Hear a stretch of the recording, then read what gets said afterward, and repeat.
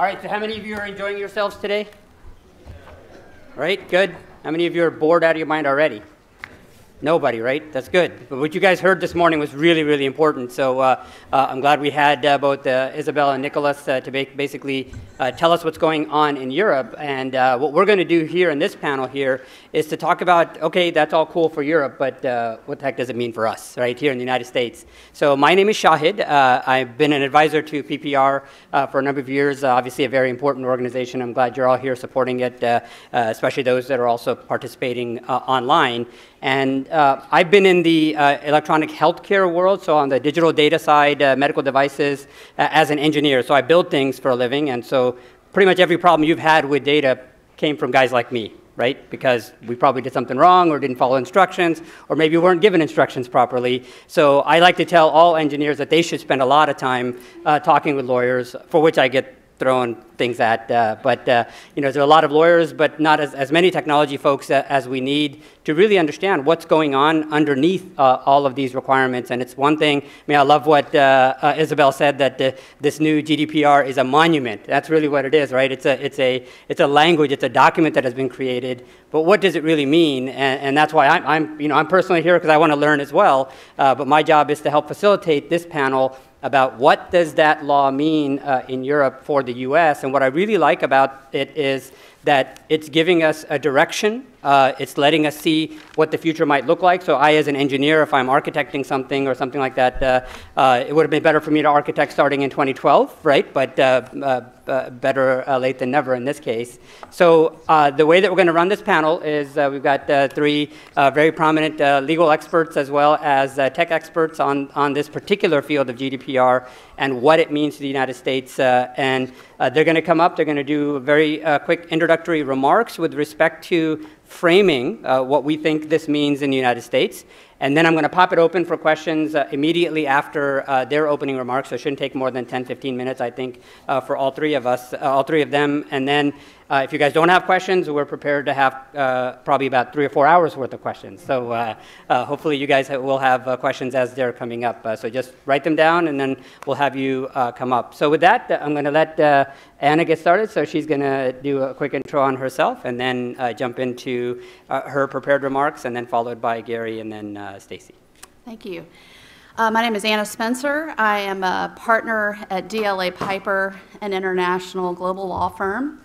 Uh, I specialize in data privacy and security in the healthcare sector. I've done a lot of work uh, in my career with technology companies, cloud computing companies, pharmaceutical manufacturers, healthcare providers, really any entity that wants to process health information.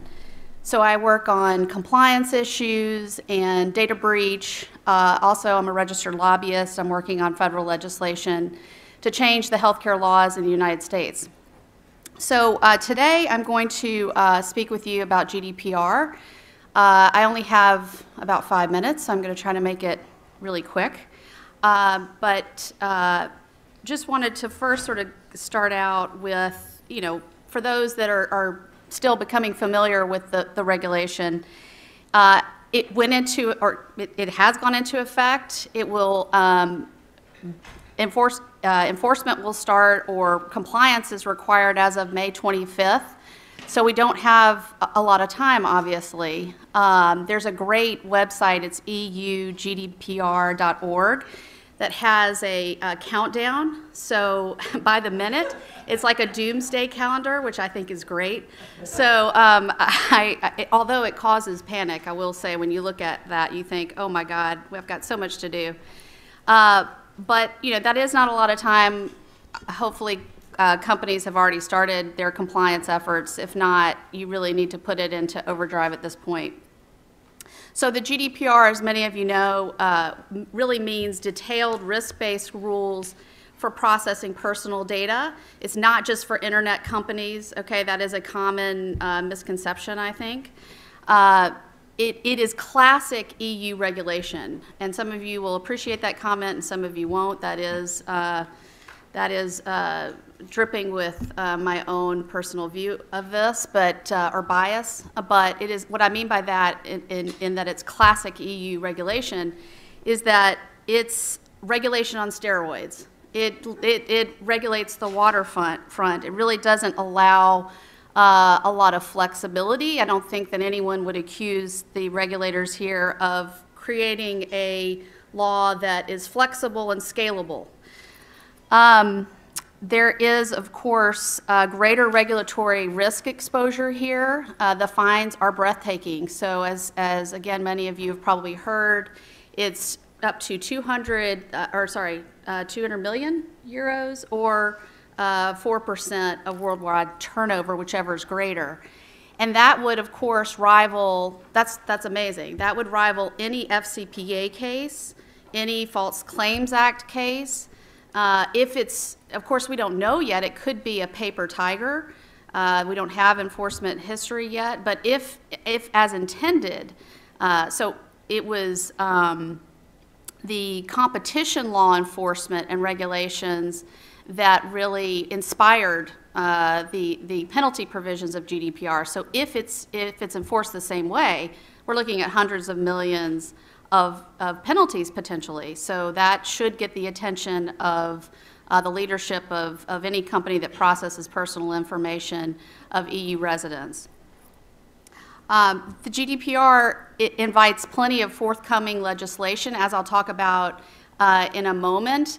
Uh, there's a lot of uh, places, actually 30 uh, instances in the regulation where it says that member states are allowed to legislate in addition to, to the general framework.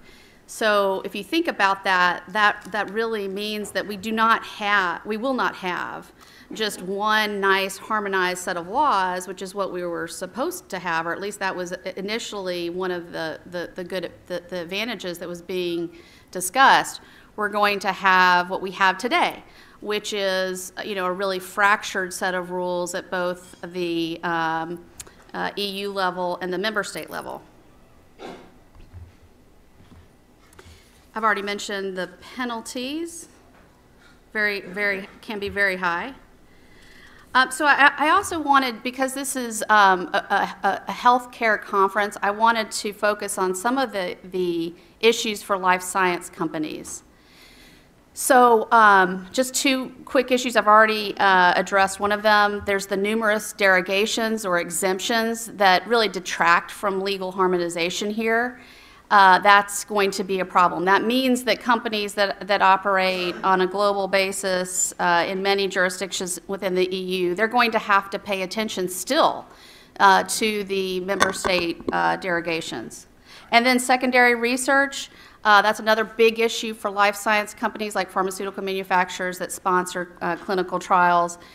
this is one area where I think, depending on what the member states do, the regulation is actually helpful to them. So it's not uncommon uh, in uh, research for for the need to emerge for additional research or related research.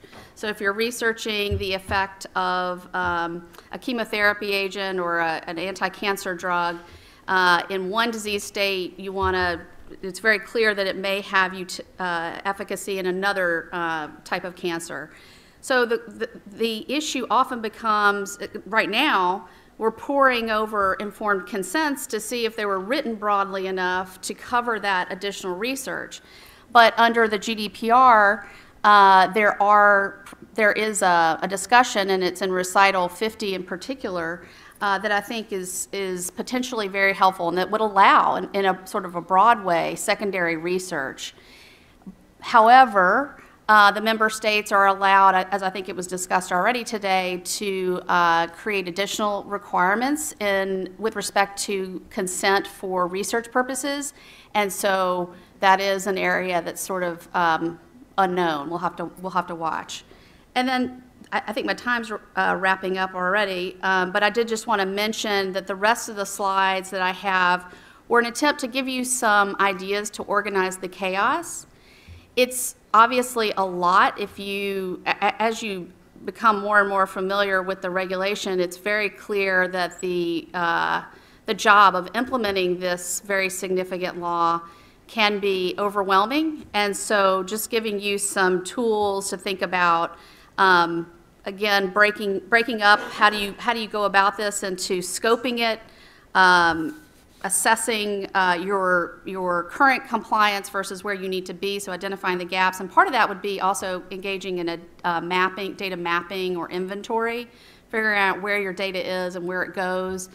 Uh, and then building your program, your policies and, and procedures, uh, appointing a privacy officer, and then managing the, the whole thing. So on, a, on an ongoing basis. It's not enough that you develop these policies and procedures, but you then have to audit for compliance and sort of keep track of uh, new developments and then integrate that into your program. It has to be a living program. It can't just, you're not one and done here ever. Um, and then I have many slides on what I mean by data mapping. And there's actually a lot of different approaches to data mapping. Um, they, they all have positives and, and negatives associated with them, pros and cons and I've, I've described them on each of these slides. This is, this is really the nitty gritty of compliance, so please take a look at those. These are the, these are the data maps that we, my team engages in, um, and, and, and then finally my last slide is some uh, big ticket items that you need to be thinking about in terms of GDPR compliance, and I hope that these are, are helpful to you. Yeah, that's great. So tell us a little bit about the applicability. So multinationals, that one's easy, right? You, you have some jurisdiction, the company has a, a, a facility or something like that in Europe.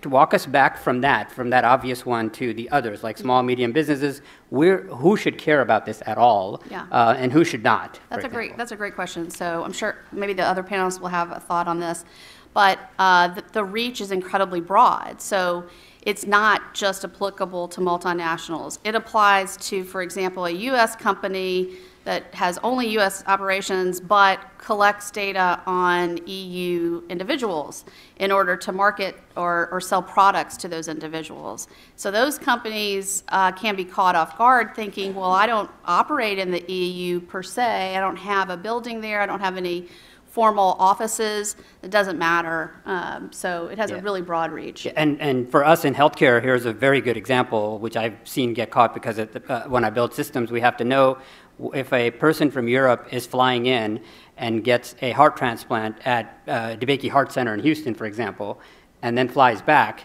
that data that's being, that you kept locally now potentially is connected to that Europe, European citizen who came down, got the service. You don't have, I mean, DeBakey is sitting literally in Houston, it's not anywhere else, but they're going to now have to at least think about this, if not know precisely what to do. So it can get very, very tricky, even though most of us don't necessarily need to care. I think we all have to think about it to figure out how much do I, how much do I need to care, and more importantly, then what, what would the enforcement look like in that case? Uh, so there's, there's no European enforcement agency here. What, what, what would that look like? Well, so I mean, I, I so uh, to my earlier point, this could be a paper tiger. We, we don't know, but uh, you know, it, certainly the, the potential for high penalties is there. And in terms of enforcement, I mean, you're looking at um, you know reliance on treaties and agreements, multilateral agreements between countries in order to enforce. But they, they can they can reach a U.S. company. Got it. Yeah, sure. Great. All right. Excellent. That's, that was a good intro. And uh,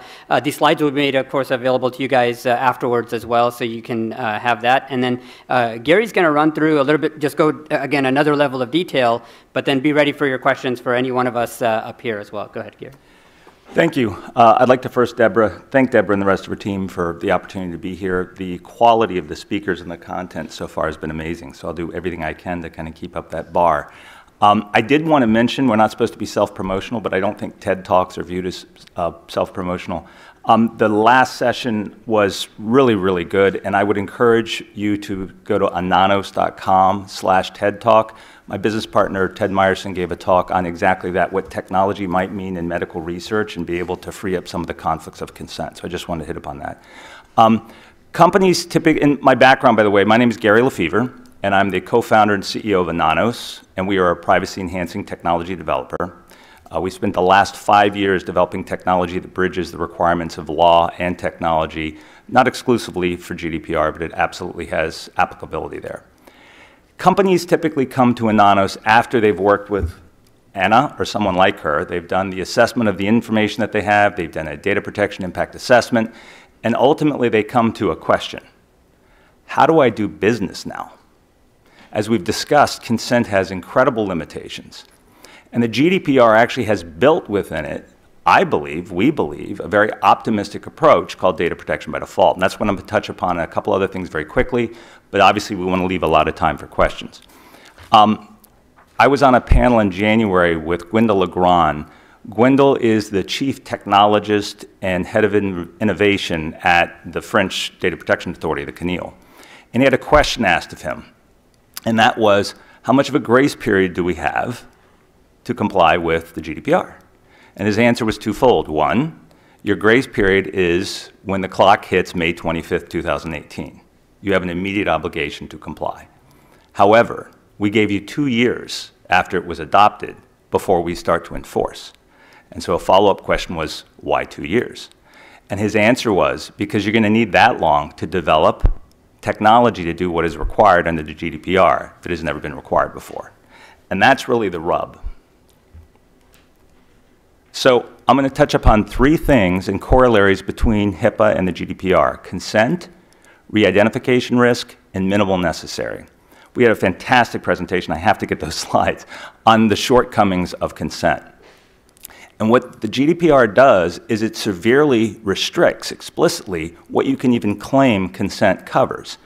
The data subject has to give specific and unambiguous approval to what you're about to do. And if you can't describe with specificity and unambiguity what you're about to do, the consent doesn't work. It's not a legal basis, and therefore you do not have the right to do it. And I want to just highlight the magnitude of the misunderstanding. If you Google today, this is an article today, why Data is the New Oil, even at Shell. There's an article published today in which the speaker, not understanding what the GDPR requires, says that we will make it clear, she's referring to the GDPR, in our wording, that if you give us permission to speak to you, you'll receive this offer or that promotion. And what she's saying is that's how they're going to get rights to data for data analytics and artificial intelligence. And it doesn't work that way. And so it's not a valid legal basis for anything that has iterative questioning involved. How do you describe in advance with specificity and unambiguity, unambiguous, it's a tough word, Unam uh, non-ambiguous, um, what the third, fourth, fifth, and sixth question are, which are going to be triggered by your answers to the first or second. So consent absolutely doesn't work. But there is a means to do it, and I'll touch upon that really quickly and, and obviously during the questions. There's a huge impact here that a lot of people overlook how many historical databases on May 25, 2018 are going to go dark and no longer be legal to use? If your means of acquiring that data does not comply with the GDPR, Gwendal Le Grand's comment from the CNIL that there's no grandfather provision means your databases go dark if you don't retreat those. And it's probably not reconsent because if you reconsent, you'll only get consent to the questions you can ask. So this is a big deal. Secondly, re-identification risk. There's a new word or a new definition of a word that's hard to say. It's worse than unambiguity, whatever. It's pseudonymity. Pseudonymity is defined in the GDPR in a way that Latanya Sweeney should love. Because the problem that we have in the US, one of several, is that re-identification risk is an illusion. It even says in the HHS regs that it's okay if a covered entity knows that the information can actually be re-identified as long as they've adopted either the safe harbor or the expert determination. So we basically always all acknowledge that it's relatively easy to re-identify. the definition of pseudonymity under the GDPR is magical. It says you have to separate the information value of data from the means of re-identifying, which means you cannot use consistent tokens, consistent pseudonyms. That is exactly what is done in the US. So again, a technical requirement. Lastly, minimal necessary. We give that lip service in the US, but in the GDPR, it actually is required. And so it requires that you, first off, as opposed to what we do here, you protect data by default. Secondly, you reveal or disclose only those elements necessary for a given authorized use. And upon conclusion of that use, you re-protect the data. So with those three, this may be very difficult to see, uh, but the reason this is of value, and anyone who would like a copy of this, if you want to give me your card, I'll be back later this afternoon here tomorrow, or if you're online, if you want to send an email to bigprivacy at anonos.com. The reason this is very valuable is it takes a statute that in six-point font is that long, and it shows you a graphical interrelationship between these issues. So you have the legal bases on the left. There's six of them. You have to find one of them that works. Consent won't for artificial intelligence, machine learning, or even historical databases or analytics. But legitimate interest does. And it walks you through the interrelationship and what the underpinnings of these requirements are as shown by the roots. So it tries, and it's always hard, but some of us are visual learners, to reflect at a high level the interrelationships and necessity for a new legal basis called legitimate interest to enable you to do this work. And then the last one out to the right on research, it's true. The GDPR actually expands your ability to do research, but you have to comply with Article 9 requirements for safeguards. And so it walks through that as well. So if anyone's interested, happy to give you a copy of this that's actually annotated with all the references to the articles and the recitals and that, are, that are associated. And lastly, so this is the big deal. I started off with a slide win, win, win. For who? Data regulators. What if you actually can comply? What if you can truly have a humanistic approach to use of data? Two, data controllers. What if you actually can allow people to use data without risk? And lastly, but most importantly, what if you can respect the fundamental rights of data subjects? The GDPR provides this. It's called data protection by default. It requires pseudonymity as defined under the GDPR. Here's the thing existing technologies don't do this. So, what's happening right now is you have a bunch of vendors putting GDPR on their front page, and they do a great job of helping with security. But the GDPR goes further than security. Privacy is different than security, and what it really comes down to is you have to be protecting your data while it's in use, not just at rest or in transit. So, Last of my slides. Happy to provide that visual to anyone who's interested, and look forward to your questions. Great. Uh, Gary, that was excellent. Uh, so uh, bridge the gap now between Anna's uh, legal side and you're on the technology side. She talked a lot about uh, data mapping and what we really refer to as data inventory. So if you don't even know where your data is, the rest of this is an academic discussion. Correct. Right? So in that model, what are you guys seeing at Anonos to see um, so lawyers seem to be able to read documents and understand them and explain them to you. Engineers who know where data is could possibly tell you uh, that data is uh, either encrypted, non-encrypted, anonymized, not anonymized. What about that gap of all that stuff that you don't know, right? There's, at any given typical hospital, medical uh, practice, et cetera, there's a ton of data sitting that they don't know. It's sitting in an Access database, it's sitting in an Excel file, might, might be in some databases. What, how, how are you seeing people successfully do that data inventory, which they need to even do for HIPAA, are they doing that well and they can extend that? Or are they not doing that well at all and it makes the data mapping and the data inventory uh, near impossible to start, which means you can't you can't actually comply with almost anything that you put up on the previous slide. So the best thing about gaps is if you can build a bridge against them or across them, it's an opportunity. I actually have not just a technical background, I used to practice law as a partner at Hogan Lovells. And so if you approach the issue from both a technical and a legal perspective, you actually can cross the gap. So with issues like you're talking about, even the GDPR does not require absolutism. You have to show that you have reasonable technical and organizational measures in place and that you've taken reasonable steps to find, disclose, and to inventory.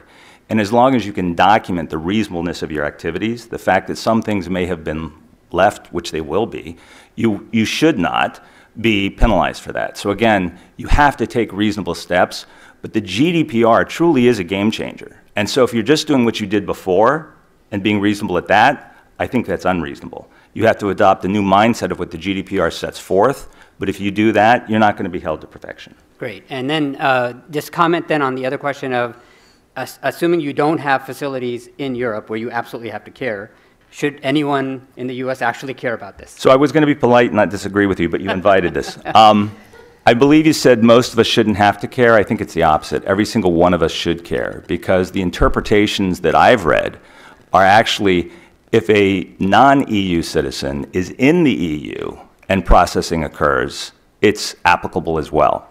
So, in essence, if you have a data store with one or more, but as little as one record, that relates to either someone who is an EU resident or someone was in, was in the EU when it was captured. It applies. We are working with companies now who have expats in the EU, and they realize that they have to fully comply with this law. So I think there's maybe two people in this room that it doesn't apply to. So I would have to take the opposite position. Every single one of us should be concerned and more than concerned should invest themselves into it because I do believe that GDPR and its concept of data protection by default could address a lot of the shortcomings that this organization is about, which is giving people more control and protection and, and rights in their data. Great. So like a regular engineer, I was just hoping that uh, ignorance would be okay, no? You have to put more words around it and then you're all right. All right, great. Uh, Stacey, go ahead. Well, thank you so much for the opportunity to be here, and a very special thank you to Deborah and to Amber for their outstanding organization and the invitation. Um, because we've had so much background regarding the GDPR this morning, I was just asked to provide three minutes regarding my background in this area. Although I currently serve on faculty at the UNLV Boyd School of Law, I spent the first decade of my career as a civil, regulatory, operational, and transactional healthcare attorney, both in the Health Industries Group in the Houston office of the international law firm Vinson & Elkins, as well as in my own private law firm, representing individual and institutional healthcare providers and private payors in a wide variety of HIPAA matters. Um, I have spent more time advising my covered entity clients regarding the HIPAA privacy rule than I have any other area of health law since January uh, 2001, uh, which is just a few days after HHS published the original final HIPAA privacy rule back on December 28, 2000. Um, I'm now finishing the second decade of my career, which has been focused on teaching and publishing in a range of health law areas, including HIPAA privacy. Um, in the past, I have taught a three credit HIPAA privacy course at UNLV and at other schools. And to help my students wrap their heads around the HIPAA privacy rule, I divide that class up into four different areas, including the use and disclosure requirements, the individual rights provisions, the breach notification requirements, and the administrative requirements. And just so you can see how the EU GDPR is finally filtering down to US law schools, deans are now asking us to incorporate the EU GDPR. So in the past, where we would teach a class called HIPAA privacy, now we're being asked to teach broader classes regarding patient privacy and health information confidentiality, including including um, not only the HIPAA privacy rule, but also the EU GDPR. I also write a lot about HIPAA, uh, including but certainly not limited to instructing physicians on how to comply with the privacy rule, some of the problems and perspectives I have with the privacy rule, how development officers at nonprofit hospitals should comply with the privacy rule's fundraising provisions. But even if you claim only to be, as I do, a U.S., meaning a U.S. federal and state health information confidentiality expert, you cannot avoid the EU GDPR. Um, just as an example, I actually met Anna, I think, um, this past fall at Seton Hall because I was asked to do a comparison between the HIPAA privacy rule and the EU GDPR. And I initially turned down that speaking invitation because I said I'm only a HIPAA expert. I do not do the EU GDPR.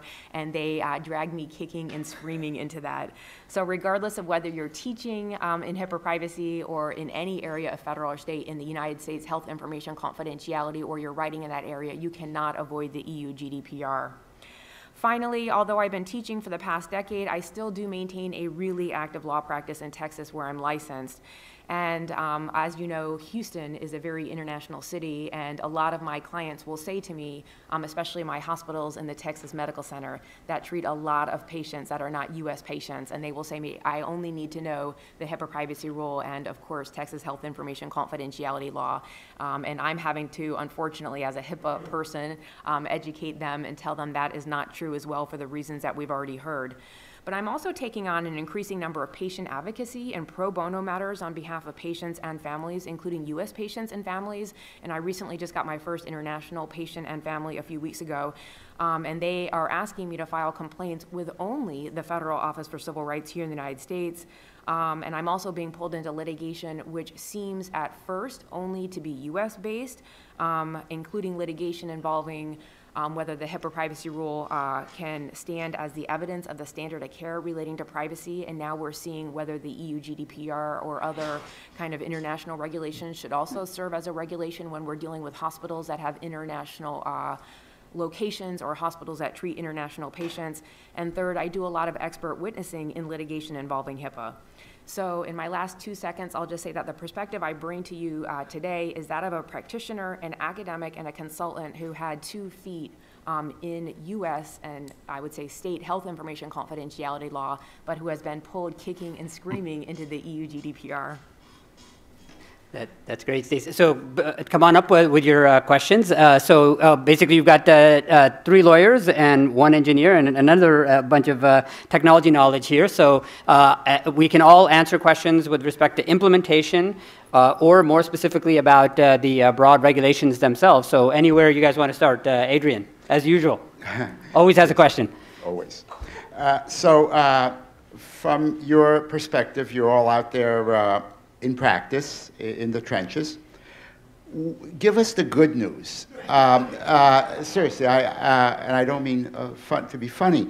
Uh, what can you imagine is going to be enabled by either GDPR or by any shift that it might drive in terms of HIPAA going forward.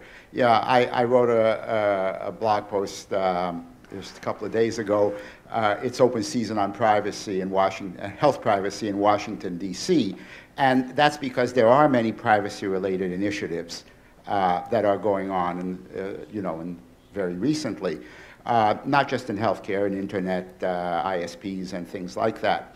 So, from your perspective, what kind of goodness, what kind can we expect on either side of the Atlantic? I'm happy to go. Um, We're actually very bullish on this.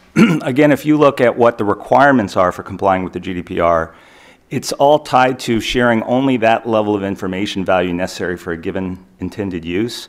And unfortunately, the way things happen, the internet spoiled us all. You can find out everything about just about anybody, when in fact, you don't need that level of granularity.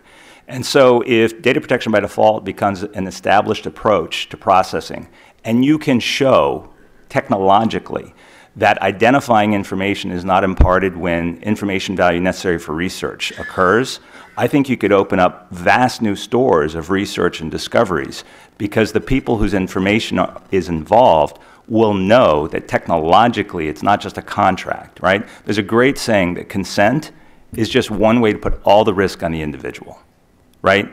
You know, 40, 50 page click through, I agrees. No one reads these things. The 190 page document that the parents had to sign while the kid needed something, you're putting everything on the shoulders of the individual. If you can technologically have gradations of information value that are offset by identifi- identifiability, and these, these are not, you know, these concepts of data science have been around, they just haven't been done well. And so the GDPR actually makes them the law. If that takes root, I think great things could be enabled. Uh, I absolutely agree with everything Gary said. Um, I also uh, think that one of the good things to come out of GDPR is that it just raises the consciousness of companies about the importance of protecting the, their digital assets, their, their information, in a way that they didn't before, I think. Because that sword of these breathtaking penalties, every executive can quickly grasp that, very concerned about it. Um, and so that has meant, I think, that, that uh, companies are much more focused on privacy, whereas in the past, they may not have given it as much attention as it deserves. I think the raising consciousness point is a good one. Um, many times I'm asked by, um, say, a hospital in Houston about a particular provision in the GDPR, and I will remind them that what they're asking me about usually is also regulated by federal U.S. law or Texas law in that case. And so it's always an opportunity for me to re- remind them regarding their uh, domestic obligations as well. So I think raising consciousness for um, clients like mine is very, very important.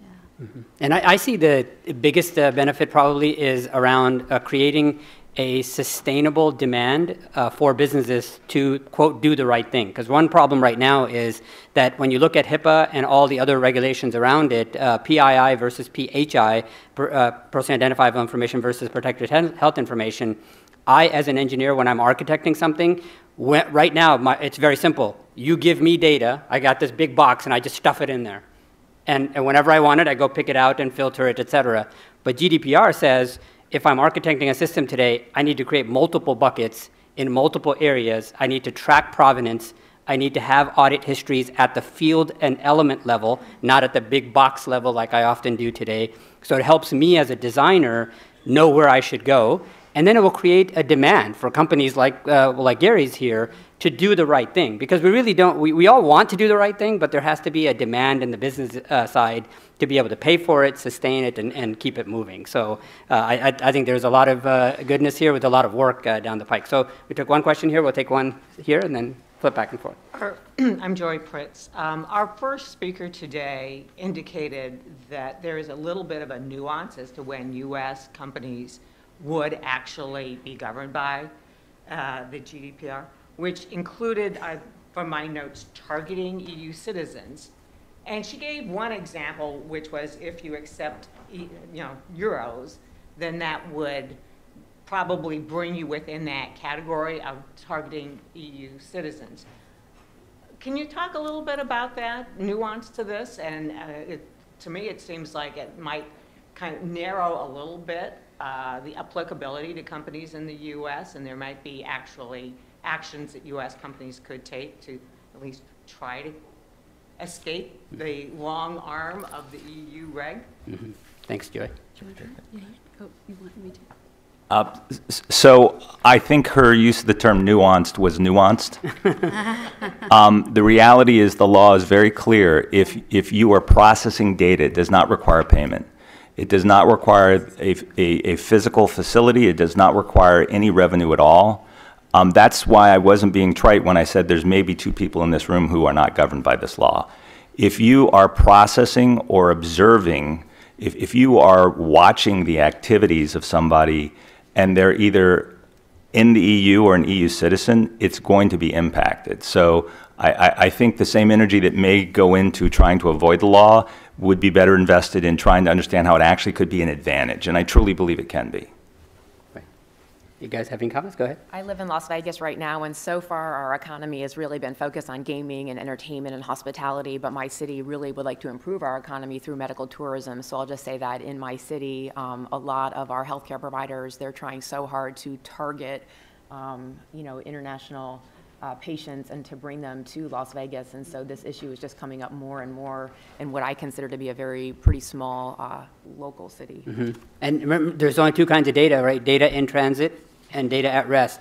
If you're a processor, you're doing both, uh, one or both. And if you're sometimes just moving data, that's the, called uh, uh, data in motion. Um, but uh, GDPR covers both sides. So uh, I think uh, Gary's right. There's far, Yeah.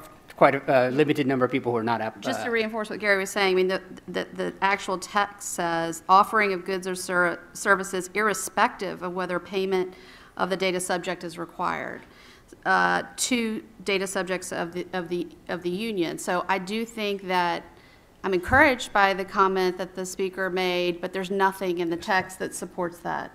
And, and just another point that we haven't touched upon. Um, While under HIPAA, both covered entities and business associ- associates have direct obligations under the statute, the GDPR goes further. They're jointly and severally liable for each other's shortcomings. So if you're a data controller and your data processor doesn't satisfy the requirements, you're both at risk, and you can be held accountable for the full amount and then have to go against your data processor, and vice versa. So we're talking billions of dollars in potential liability here, and I think very difficult means to avoid it, which is why, and and again, I wasn't trying to be trite, I think the energy invested in trying to figure out if you can avoid it is probably better spent in how you can turn it into an asset. Yeah, and one, one thing to recognize is that in healthcare, we've lived this for a couple, for quite a while, a couple decades almost, where you have a covered entity and then a business associate. Uh, those are well-defined terms and fairly well understood. Imagine everybody else. They've never done this. They've not had the difference between a controller uh, of the data and the processor of the data. And now they have to do the same thing. So what the big benefit here, going back to Adrian's question, is everybody else now has to think this way. So we're going to be able to, uh, in healthcare, we now can look outside and say, okay, a covered entity is a controller, a business associate is a processor, and then a subject, of course, is the patient and et cetera. So that's really nice now is we're not, we're not alone anymore. Everybody has to live our life. Go ahead. Uh, Tom Trezise, my question is, in my work, I wear different hats, and on different days, you know, I show up with different conversations. So today, I'm here for healthcare. Uh, as I put another hat on, though, uh, I'm facing the same issues that we are in healthcare. And one of my frustrations is, is usually at least 100 people working on the same thing and they don't know they're all working on the same thing. So I always look for ways for people to collaborate and partner. Is there any process going on for us who have just had this conversation and go, oh my God, I got work to do? Is there any natural partnerships that you can uh, we could use or partner up with instead of going it alone. It would make sense. Uh, I mean, online gaming, tourism, healthcare. I mean, all of those interact and intersect. Do you see any natural collaborations that ought to take place uh, to do this work? There's a group, if you're not familiar with it, actually, probably many of you are members, the uh, International Association of Privacy Professionals. The IAPP does great work and it goes cross vertical and so you get a lot of benefit of that. Um, if you're interested, the, the, the, the, conference that I mentioned, we had, I think, over 600 people who actually showed it was a webinar conference, and over 5,000 people have downloaded materials. That's actually at anonos.com slash GDPR. That's all IAPP. So the IAPP, and I guess it's IAPP.org, is a fantastic organization that I think would be your biggest bang for the buck. And are there actual working groups in there that Yes. says, Yes. like the tourism industry and the healthcare industry ought to have a, a dual working group on this? to- I'm not sure that there is now, but if you raised it, you would be the chairman of it. Uh, forget I asked. No, anybody else want to add anything? Uh, go. I'll just say my Yeah. university, it's funny that you mentioned those three areas. Um, my university is very good in hotel, we're very good in gaming, and now we think we're good in law, and we're hoping to get good in health law. And note that we're capitalizing on those three areas, and we all work together. So I work with our gaming law folks and our hospitality law folks, even though I have no background in gaming law or hospitality law, um, because we're all becoming pulled in together. Yeah, and one thing I would do is for anybody outside of healthcare, this is one of the weirdest things to say is come to healthcare to learn uh, in our industry, and because we've been having to live this, uh, so there, there's a lot of uh, work product uh, that, that is available to describe BAs, business associates, and uh, agreements in this area. So th- there's actually quite a bit of body that we can use to help raise the, and lift everybody else. And the other thing is to keep it in an open and uh, um, about open data and open APIs. Asking your vendors, the vendors are going to have to solve this. There's no scenario where this is going to be handled legally, right? It's going to have to be vendors. It's Microsoft, it's Oracle, it's the folks who make the databases. Uh, there are, there's a technology called the virtual private database that allows you to keep things separated in common stores, and that has to be put on steroids over the next few years as well. So uh, next here. Uh, Lucia Savage. Um, So first of all, thank you for validating my read on GDPR. I've been a health uh, lawyer for a long time. Like, oh, we already have all this in healthcare except the engineering piece in which we're retarded. But um, my question is actually about the sort of right of a person to get their own data. So we've had this in the American system on healthcare for a very long time. Spent a lot of effort in the last two years trying to put that on steroids and make it digital.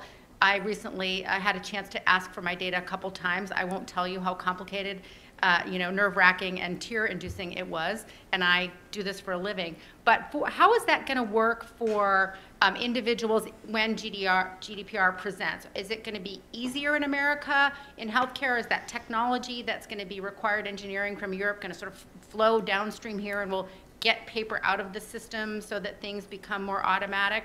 Or will it be more like, uh, you know, everyone who holds the data think, it, think it's really theirs and they put artificial barriers in, in, the, in the process of a person accessing their own data?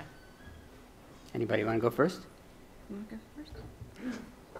So one of the biggest things about the GDPR is it's a huge hand that's going to slap you if you don't do it right. Um, so I, I, I agree. Actually, people who don't have a background in, in healthcare should look at HIPAA and the privacy rule and the security rule. There's, there's a ton of information there that whether or not the GDPR used or not, I see a lot of it. Um, but one of the big differences here is, I mean, let's look minimal necessary. We're still waiting for guidance on that, right? There's a lot of things that, I mean, what, what Deborah talked about before, something that was passed years ago, there hasn't been anything.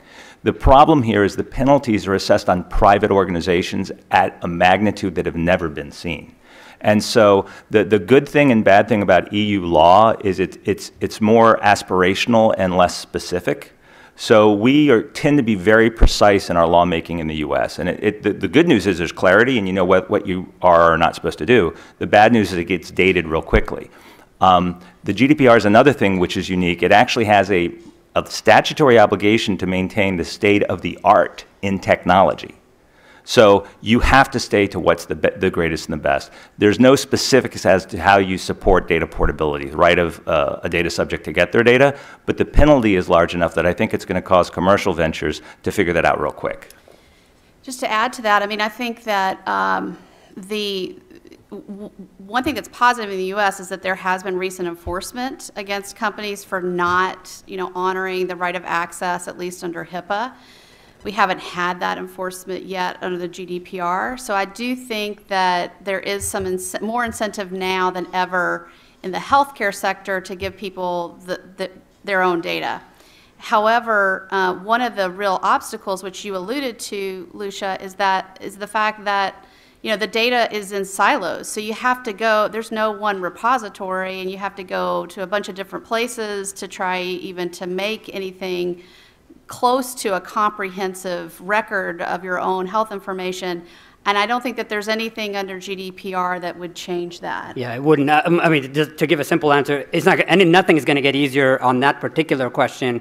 In fact, uh, the only thing that's going to drive that is we need to have demand, right? If once a week you get a request from one patient, it's not that important. You're going to find any way to do it. You get 50 requests a week from patients asking you for data. That changes. You get 500 or 5,000. So it's a if we can get patients to say start asking for more, then it drives the technology. Other than that, I'm not sure it's going to actually drive that much. Or, uh, or another, another idea, which is one that I'm working on, is, is allowing the, fo- the, the companies in the U.S. who have aggregated data, like clearinghouses. So the clearinghouses sit between the providers and the plans, and if we expand the right of access just a little bit under federal law, individuals have a right to receive that information. It's already aggregated. It's not an EHR, but it's claims data, and it's rich in information. So uh, there are some there are some policy thing, uh, uh, efforts that are that are moving that could make some positive change changes for people. And we only have 90 seconds left for before our panel ends, so we can take one. Which side did we go last time? It was over there, me.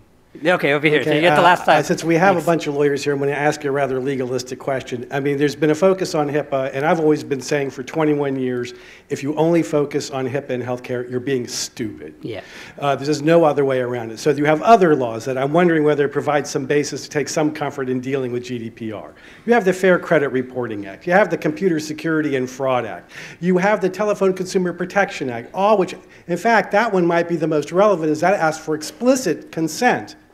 Uh, and we see law, uh, court case after court case about people getting calls on their cell phones and yada, yada, yada, whether HIPAA is on that. So I'm wondering, and also above and beyond that, you have the deteriorating barrier between a consumer and a patient. Go to the Consumer Electronics Show any year, and you'll see that the difference is almost non existent, and people are getting confused as to whether they are patients or consumers, whether they're using FDA regulated products or not FDA regulated products, whether they're going to be uh, hammered by the FTC or the Consumer Product Commission, and I can go on and on and make everybody crazy. So the question then becomes with all that said, and healthcare having had experience with all of these laws, whether the GDPR is just going to be something that makes compliance folks go, okay, let's take all these together now and have a coherent one kind of compliance plan rather than a HIPAA compliance plan, a one for our telephone, consumer, our marketing plan for TCPA, and then something for consumer fraud and abuse. Yeah, no, that makes uh, sense. So we only have about 30 seconds, so you guys want to take it home? I'll take a really quick. Yes or no? Uh, no.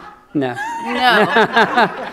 because in the United States, we're all about pragmatism. I mean, you've got different, we, and, and the way we've approached privacy is sectoral.